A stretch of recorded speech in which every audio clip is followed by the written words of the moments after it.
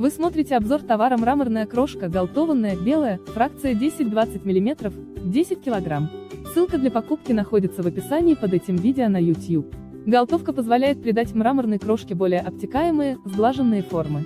Обработанная таким способом крошка имеет гладкую блестящую поверхность, чем-то напоминающую речную гальку. Газоны и клумбы с такой отсыпкой выглядят очень аккуратными, радуют глаз яркими бликами в солнечный день.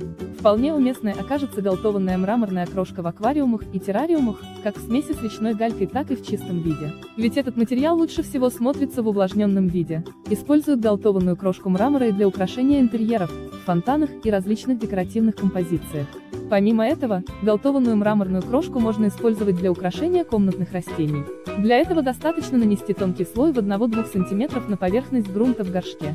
Фракция в 1-2 см может считаться универсальной, равно пригодной для ландшафтного дизайна и использования в интерьере помещений.